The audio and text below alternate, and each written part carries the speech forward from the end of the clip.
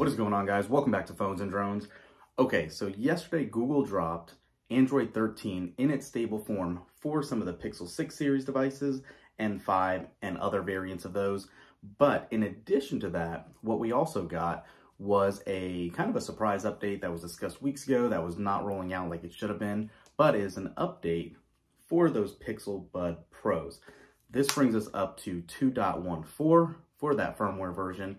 I haven't seen necessarily any changes yet. I've had some issues where the uh, basically each earbud is kind of degrading in battery life different. So if they're sitting in the case, they should each be at 99, 98, 97%, but one will be at 93, one will be at like 97. So it's always fluctuated a couple of percentage points. So I'm hoping it addresses that. I wanna go ahead and show you guys how to upgrade and to show you where to look for those firmware upgrades as well. Let's jump right into it. All right, so what you're gonna wanna do is make sure you have your Pixel Bud Pros next to whatever device you want to connect them to. In this case, we're gonna use our 6A. I'm gonna go ahead and unlock it. And once we do that, we'll set it right down.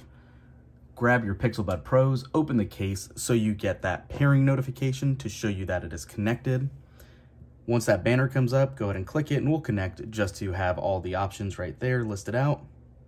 And from the device detail screen, you're going to want to look for more settings and under more settings, you can see it says firmware updates, about, and more. When you click on that, you'll see right below in-ear detection is firmware update. And currently, obviously, we're showing up to date since we just updated it. But you can also see that the earbuds, each individually, the left, right, and then the case are all signed to 2.14.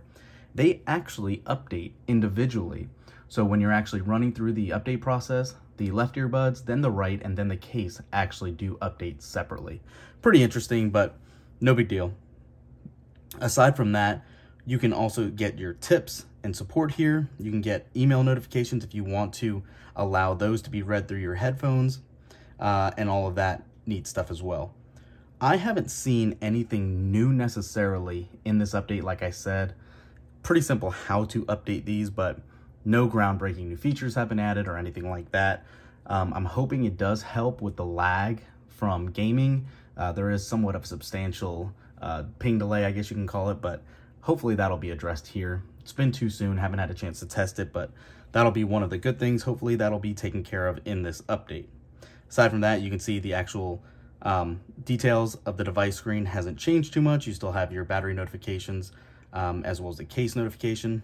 And then, yeah, all your typical same settings. So that's it for this one, guys. I hope this helps you update your earbuds if you were looking for that. Thumbs up this video, subscribe to the channel, and we'll catch you in the next one. Peace.